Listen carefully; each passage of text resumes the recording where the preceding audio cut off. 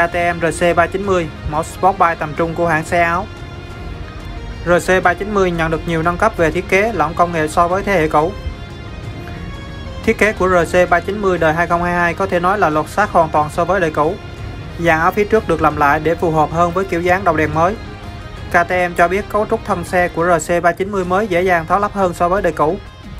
Nhờ sử dụng ít cắt ngàm hơn và dây cố định, sự thay đổi về ngoại hình đáng kể là phần ghi đông tay lái được mở rộng và cao hơn khiến tư thế ngồi thoải mái hơn. Đặc biệt là ở thiết kế dàn đầu xe thừa hưởng nhiều đường nét từ người đàn anh KTM RC8 đã ngừng sản xuất trước đây vì động cơ quá mạnh không phù hợp với đường phố. Phong cách thiết kế hoàn toàn mới của KTM RC390 2022 được lấy cảm hứng từ cỗ máy đua CB. Không chỉ mang lại ngoại hình to lớn hơn mà còn tối ưu hiệu suất khí động học ở tốc độ cao.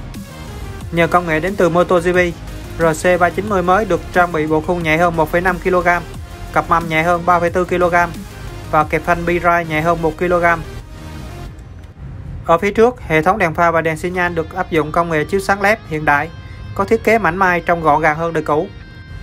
Không chỉ vậy, có thể nhận thấy RC390 cũng nhận được cặp gương chiếu hậu với thiết kế mới. Về hệ thống treo, xe nhận được bản nâng cấp mới nhất và hiệu suất cao hơn. KTM RC390 2022 được trang bị bộ phuộc dưới dạng upside down 43mm, hàng hiệu của VKP Apex và giảm sóc sau monoshock cũng đến từ thương hiệu này. Cả hai đều có thể điều chỉnh được.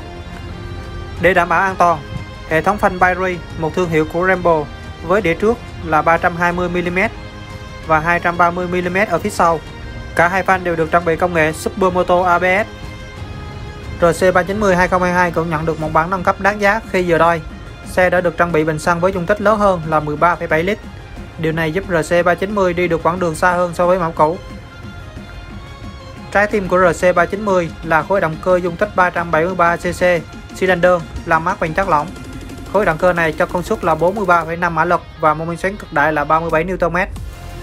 KTM đã điều chỉnh lại hệ thống lái gió động cơ cũng như điều chỉnh thời gian đánh lửa, mang đến cho RC390 mới mô men xoắn cao hơn. KTM RC390 được trang bị hệ thống ống xả mới với thiết kế lá cảm hứng từ cỗ máy đua MotoGP RC16 kết hợp với đầu cổ bô được làm bằng thép không gỉ và bộ giảm thanh bằng nhôm. Ống xả mới không chỉ khiến ngoại hình của RC390 trở nên thể thao hơn mà còn tạo ra âm thanh đặc trưng, mạnh mẽ hơn khi vận hành. Về trang bị công nghệ, KTM RC390 có hệ thống chống bó cứng phanh ABS, có chế độ Supermoto ABS, cho phép người điều khiển tách ABS ở phía sau Tiếp đến là bộ cảm biến IMU 3D. Hệ thống chống trượt MTC có cảm biến góc nghiêng, ứng dụng KTM MyRide và sang số nhanh QuickShip.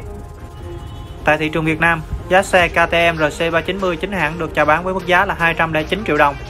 Mức giá này tương đối cao so với các đối thủ cùng phân khúc là Yamaha EZF R3 với mức giá là 132 triệu, Kawasaki Ninja 400 159 triệu đồng, Suzuki Gixxer SF 250 110 triệu đồng và một mẫu xe khác không được nhập khẩu chính hãng là Honda CBR 250RR với mức giá vào khoảng 170 triệu đồng.